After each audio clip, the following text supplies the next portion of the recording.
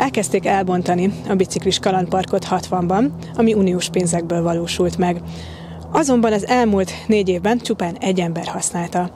Jelenleg a pálya negyede már nem áll.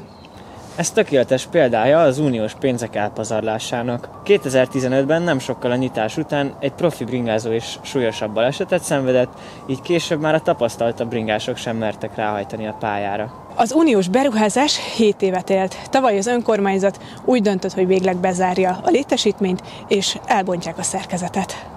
A pálya látogatása ingyenes, azonban veszélyessége miatt regisztrációhoz kötött.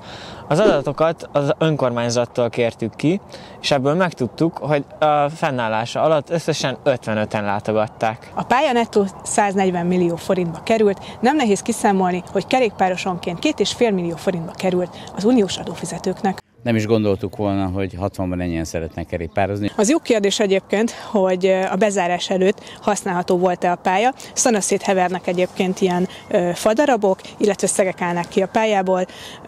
Nem tudjuk, hogy ez milyen állapotban volt a bezárás előtt. A beruházás része volt egy lombkoronas sétány, amin cikcakban lehet eljutni a Vadasparkig.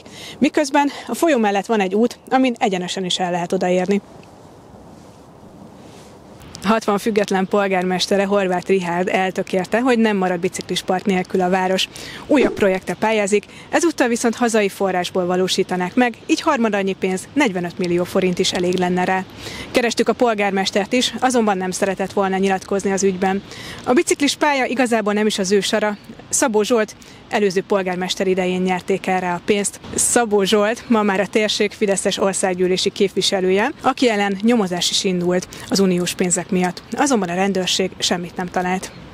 A Kalandpark egy közel nettó 900 millió forintos nagyobb projekt része. Az alapötlettel nem is volt baj. 60 akarták összekötni a szomszédos településsel, boldoggal. A kerékpárút 60 felüli szakaszát az Orbán kormány alatt nagyra nőtt Duna aszfalt építette, ami a politikusokat jaktoztató Szillásztó tulajdona. A kerékpárút minőségével voltak komoly problémák, egy év után feltörte a nád. A kivitelező a 7,3 kilométeres szakaszból több mint 7 kilométert garanciálisan kijavított. A repedések egy részébe szurkot öntöttek. A javításokról készült jegyzőkönyv szerint nincs kizárva, hogy a repedések egy bizonyos idő után újra meg fognak jelenni, mert ez fizika.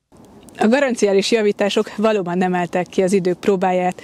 A repedések újból megjelentek, van, ahol még a fű is kinőtt. Ez a fizika, nem?